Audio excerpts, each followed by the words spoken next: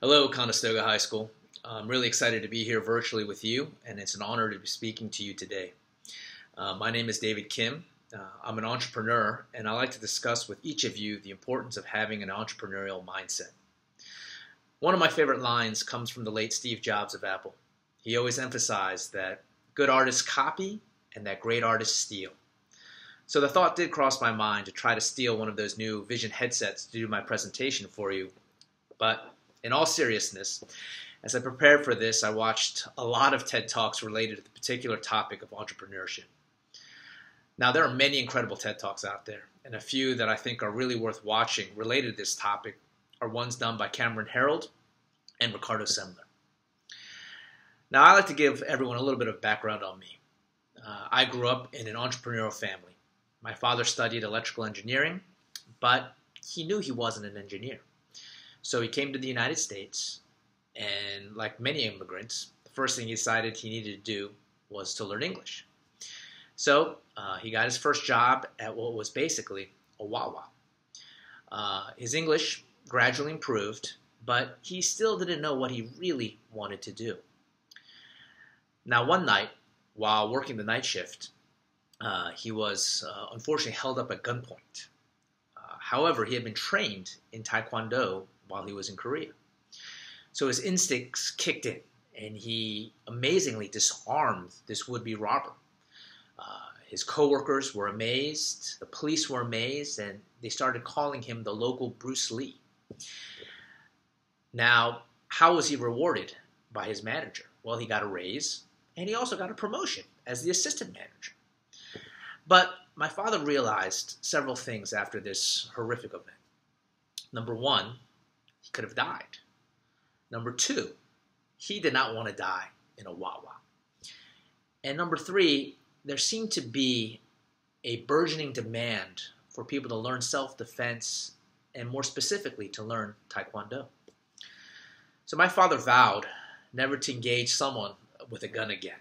And he also decided to start exploring um, how he could start a Taekwondo business where he could teach people in the local neighborhood. So he soon rented a small space, uh, and his business uh, was really good. Uh, his location uh, happened to be in between a General Motors factory, uh, a steel plant, uh, a dock, and, and Johns Hopkins Hospital. And so he had a very eclectic mix of clientele. He had dock workers, factory workers, and physicians who all wanted to learn self defense. Uh, my father was hedging his bets a little bit, so he didn't commit 100% to this venture initially. It was a side hustle at first, but the impetus to commit to this 100% came pretty soon when he was held up at gunpoint again. Now, growing up, I got to see firsthand the excitement and the stress of being an entrepreneur. Obviously, the excitement comes from building something new, from solving problems. Um, and it excited me to see these things, uh, seeing my father solve problems in real time, how to attract more students, how to maximize uh, labor efficiency, how to decrease costs, how to build a brand. Uh, and he was always curious, always asking questions, always observing other businesses. Um, and now there was a restaurant uh, next door uh, to his particular uh, Taekwondo studio. And he would always observe how busy they were. And he noticed that when they were busy, so was he. And when they were slow, so was he. So he thought to himself, if he could work together with his neighbor, the restaurant, maybe they could both be busier. Suffice to say, uh, I got the entrepreneur bug at a young age. Um, I love trading uh, and selling baseball cards, football cards, Star Wars figures. Uh, and I even learned, like my father, to charge uh, my neighborhood kids uh, Taekwondo. But when most people think of entrepreneurs, you know, I don't think they really think about people like my father per se. So who do they think of? Right? They typically think of uh, folks like Bill Gates of Microsoft, or folks like Mark Zuckerberg of, of Facebook or, or Meta, as they call it now. Now, while I might have a, a few less zeros in the bank uh, than these two entrepreneurs, I do share with these gentlemen the fact that I went to Harvard. But unlike them, I actually do have a degree. Hopefully, we can agree that school does pay, Well, a few years before I was set to graduate, my father asked me what I was going to do. It's that classic question that many of you are often asked uh, as you're growing up. Uh, initially, I was planning on doing what a lot of my friends and classmates were planning on doing getting a job, then going to grad school, then getting a job again. But there was a question uh, that kept haunting me, a question that I kept asking myself that really bothered me Who am I? What am I? And after a couple of summer internships in banking, I realized that this path was not for me, that this idea of getting a job didn't get me excited.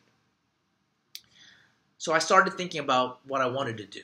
I knew that I loved the fact that my, my father was an entrepreneur. I loved the excitement and the challenges that came with it. So I looked around and I noticed something. You know, I had the great luxury of going to a great university, and I saw that it was getting more and more stressful to get into these great colleges, or any college for that matter. So I truly feel for all of you high schoolers today that it's become so, so difficult. But in that agony and pain, I saw an opportunity to help others while also making some money. So in 2000, I decided to start a tutoring, test prep, and college counseling service called C2 Education. And that business at first um, was something that was challenging, where I had to leverage all of my problem solving skills, where I had to ask for a lot of advice from mentors. But now it's become a successful venture. And today, C2 has helped over half a million students get into their dream school. Now, this has been a, a great adventure and journey for me. And isn't that what life is really about? To fulfill your dreams and aspirations, uh, to take risks and to see the, the, the, the rewards from that risk taking uh, to challenge the status quo, to live a passionate and purpose driven life. Now, I almost didn't take this path because school is often at odds with the entrepreneur's mindset. We are often told to follow the rules, and if we follow the rules, that we will be rewarded. Right? By doing so, you get good grades, you get good test scores, you get a good job, and you get good pay. We're taught to follow orthodoxy and not challenge assumptions, not challenge the status quo. And it's funny. You know, I asked this question myself growing up, and my kids are always asking this question when am I going to use this stuff that I learned at school in real life? Now, I want to make it clear that starting a business is not for everyone, right? The success rate for new businesses and ventures is very low. There's only a 10 to 20% chance of success. But the mindset of an entrepreneur is for everyone. And so, what are these basic precepts of being an entrepreneur and how to look at problems from the mindset of an entrepreneur? In my opinion, there are four things. Number one, it's extremely important to be curious. As annoying it is for me when my kids ask this question, always ask why and ask why again and why again. When I think about this string of whys, I always think about Elon Musk, who revolutionized space travel in SpaceX through that basic premise, right? Another important aspect of asking why is asking why to yourself. Why are you doing this? Why are you on this path? Why are you on this journey? And ultimately, if you can answer that why, you will have a more fulfilled and passionful life. Number two, it's extremely important to always be positive right? Entrepreneurs see problems and failures as opportunities. When we see a problem come up, we see that there might be a need for a product or service because this failed or because this happened. And we're also learning on the fly from our mistakes continuously, always iterating and reiterating what the best solution might be for a particular problem. For example, my father took a horrific robbery experience and turned that into a business idea. Number three, it's important to be able to be a contradiction, a walking contradiction. Now, Cameron Herold, who I mentioned earlier, uh, is an incredible entre- entrepreneur. Uh, he's been a famous uh, lecturer on entrepreneurship at MIT, and he funnily talks about um, bipolar And he talks about that bipolar is the CEO disease. But more accurately, I would say entrepreneurs, more than being bipolar, have the ability to be walking contradictions. F. Scott Fitzgerald, one of my favorite authors, uh, the author of The Great Gatsby, famously wrote that the test of a first rate intelligence is the ability to hold two opposing ideas in the mind at the same time and to still retain the ability to function. Right? One should, for example, be able to see that things are hopeless, yet be, yet be determined to make them otherwise. You know, this is related to how we see life, and it's also related to our own behavior as an entrepreneur. I, for example, am extremely impatient, yet extremely patient. I am so obstinate and stubborn, yet I am extremely flexible. And you need this to be an entrepreneur, but in life in general, because things are not always going to go your way. You need to have resolve and flexibility to overcome the challenges that come at you. And last but most importantly, you have to be you. Life is short. And following your passions and being happy with the choices that you make are ultimately going to lead to the best version of you. Don't let anyone or anything rob you of that. If any of you have any questions, please feel free to email me. My email is david.kim at c2education.com.